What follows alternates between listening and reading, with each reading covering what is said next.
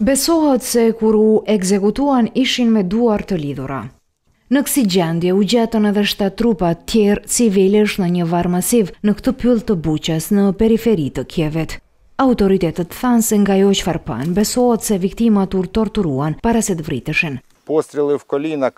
Duart e lidhura pas shpine me shirit tregojnë se njerëzit ishin mbajtur peng për një kohë të gjatë, nga të cilët u përpoqën të merrnin informacione. Një mijë e treqind e gjashtëmbëdhjetë trupa gjithsej janë zbuluar në rajonin e Kievit prej se nga këtu u larguan forcat ruse në fund të marsit. Dyqind prej tyre nuk janë identifikuar. Trupat e pajetë të një mijë e treqind e gjashtëmbëdhjetë njerëzve të vrarë dhe të torturuar u gjetën në rajonin e Kievit. Shumica e tyre, rreth shtatëqind e nëntëdhjetë e nëntë, janë njerëz që u vranë me armë zjarri. Vrasja e civilëve në Buça po pretendohet të jetë një nga dëshmitë kryesore të Kievit për të akuzuar Rusinë në lidhje me krime të mundshme të luftës në Ukrainë.